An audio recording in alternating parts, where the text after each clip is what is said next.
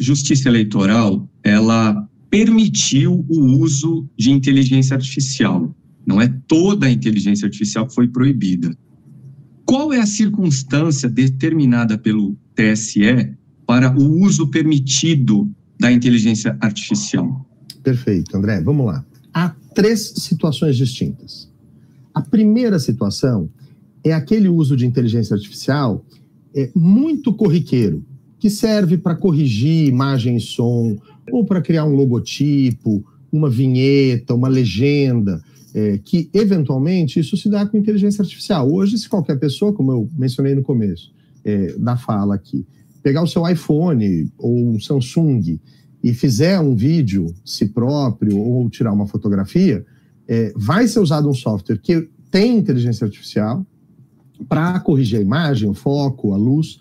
É, esses usos são permitidos na propaganda eleitoral, seja rádio, televisão é, ou internet, é, e não há qualquer necessidade de rotulá-los. Quer dizer, não é preciso avisar as pessoas que foi usada inteligência artificial para aquela finalidade, porque presumo que todos nós estamos acostumados com esse uso, isso não é capaz é, de gerar qualquer efeito negativo na formação do voto da eleitora ou do eleitor.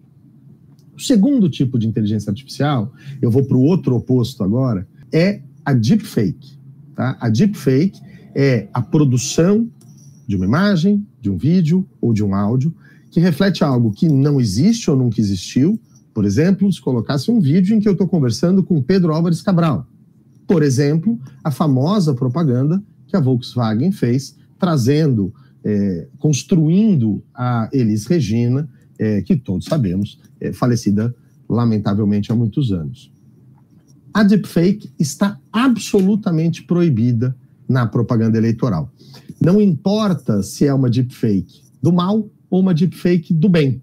Quer dizer, se colocasse na propaganda eleitoral, imaginando que eu sou candidato, é, eu conversando com Pedro Álvares Cabral e ele falando que eu deveria é, fazer mais pelo município, que isso seria importante. Mas eu não estaria atacando ninguém, não estaria ofendendo ninguém. Presume-se que é, boa parte das pessoas, se não todas, sabem que Pedro Álvares Cabral está é, morto há muitos séculos e certamente nunca conversou comigo, mas ainda assim entendeu o TSE por proibir completamente esse uso. E aqui eu quero fazer um parênteses, André, porque acho que é interessante é, para as pessoas que nos assistem entender. A primeira versão da minuta que foi colocada em debate público no dia 4 de janeiro permitia a deepfake que não fosse de ataque, que não fosse ofensivo. Quer dizer, havia uma proposta liberal de regular o tema mas sem proibir completamente. Várias das sugestões trazidas na fase de audiência pública falaram é preciso proibir. Isso veio de entidades ligadas ao estudo do direito eleitoral, isso veio de entidades ligadas aos direitos humanos, como a Conectas, por exemplo, uma das maiores ONGs dessa área no Brasil, e veio fundamentalmente das pessoas que trabalham com marketing eleitoral. A CAMP, que é a entidade nacional que reúne os profissionais de marketing político, que a gente né, poderia imaginar é, que seriam os mais interessados em ter uma ferramenta a mais para usar nas campanhas que vão conduzir, eles falaram: é preciso proibir.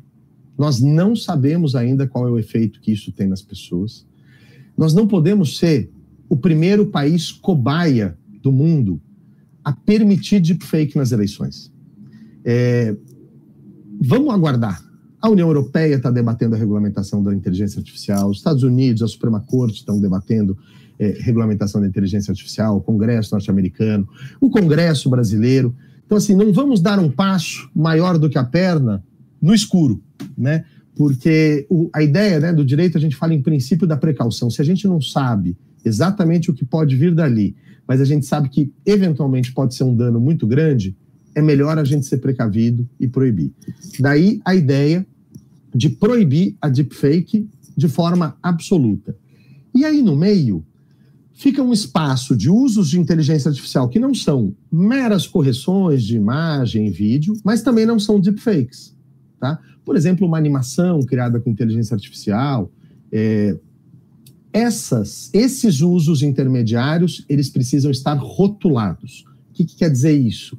aquela propaganda precisa trazer a informação para a eleitora, para o eleitor, de que aquele conteúdo é sintético, portanto, é um conteúdo criado, é, e que foi feito por meio de inteligência artificial. A ideia aqui é uma ideia de trazer informação para que as pessoas olhem aquilo e entendam é, que aquilo não existe daquela forma na realidade. Um exemplo assim é, muito sucinto: imagina um vídeo em que eu, candidato a prefeito, falo, chego num terreno baldio, eu sou de oposição, eu reclamo que a prefeitura não fez nada naquele terreno, que está cheio de mato, que está cheio de rato, e eu falo que eu vou construir é, um posto de saúde, uma UBS, um hospital naquele terreno. E eu faço como se fosse um passe de mágica e surge uma animação mostrando um hospital sendo construído. Tá? É, não é uma deepfake, eu não estou imitando uma pessoa, eu não estou é, construindo uma realidade é, usando uma pessoa, mas claro que eu usei inteligência artificial. Esse tipo de conteúdo precisaria estar rotulado. Então, resumindo, André, são três modalidades de uso de inteligência artificial. Uma que dispensa, inclusive, rotulagem, que é corriqueira, meras correções, meros ajustes, uso de vinhetas. Uma intermediária, que é aquela que precisa estar rotulada, precisa avisar o eleitor e a eleitora. E um terceiro grupo, a deepfake, que é absolutamente proibida.